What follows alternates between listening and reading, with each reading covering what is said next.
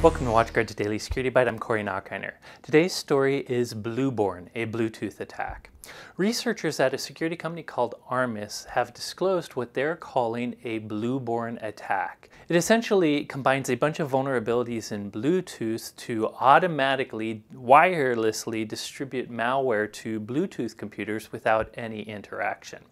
What it really is, is these researchers found eight different vulnerabilities in various aspects of Bluetooth.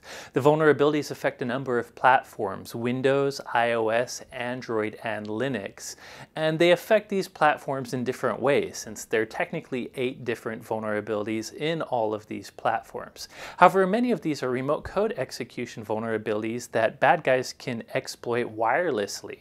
In some cases, you don't even have to pair with another device for an attacker to exploit these. If you have a device that's listening with Bluetooth, a malicious actor can just automatically leverage these flaws to execute code on the device in some of these cases.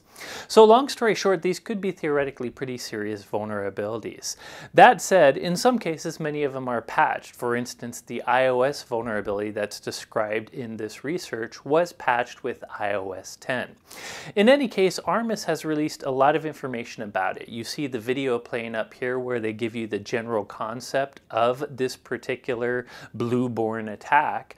But if you're a technical person, I highly recommend the white paper, which goes into a whole lot more technical detail about each individual one of these vulnerabilities. And again, they differ quite greatly in their scope and impact depending on which vulnerability and which platform. So long story short, there's nothing to go crazy about. These sort of Bluetooth vulnerabilities or any vulnerability that can happen without user authentication wirelessly is indeed very dangerous. So it's very good that researchers like the ones at Armis are looking into Bluetooth standard vulnerabilities. That said, they seem to be disclosing them quite responsibly. I don't think attackers are leveraging these flaws right now. So as long as you keep relatively up to date with a lot of your platforms, you're probably good. In any case, interesting research, check out the white paper. That's it for today's story. Thank you for watching.